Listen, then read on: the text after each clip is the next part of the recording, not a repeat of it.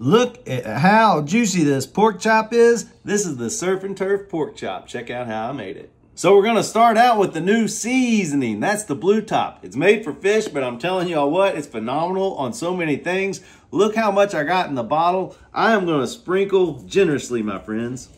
We're gonna take us a fork and we're gonna poke some of this flavor in so it can really penetrate.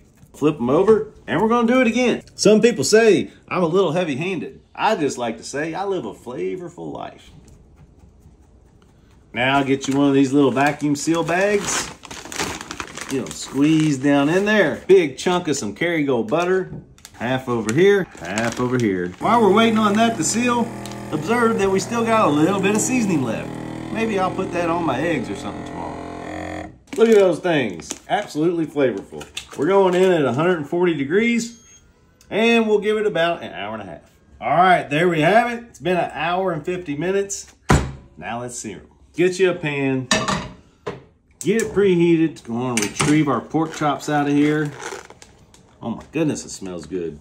There we go. Look at that buttery mix. We're gonna set this to the side. Now you grab the Dan-O's Primo. That's the gray silver platinum top. Give it a sprinkle, flip it over, and do it again. Now into our pan, we're going in with some grapeseed oil, and we're gonna add some of that butter mix.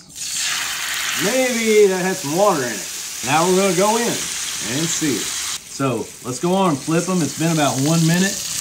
Got the nice little crust on there. All right, it's been another minute. Look at that bad boy right there. Set it over here. All right, let's stick it just because I'm curious to see where it's at. Well, looks like we're right at 140. I hope that's safe to eat. I'd say that looks absolutely perfect.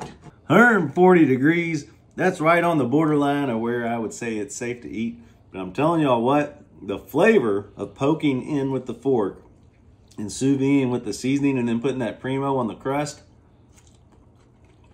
Wow. That is one of the best pork chops you'll ever have in your life. Yum, yum, get you some. We'll see you next time, my friends. Keep sprinkling.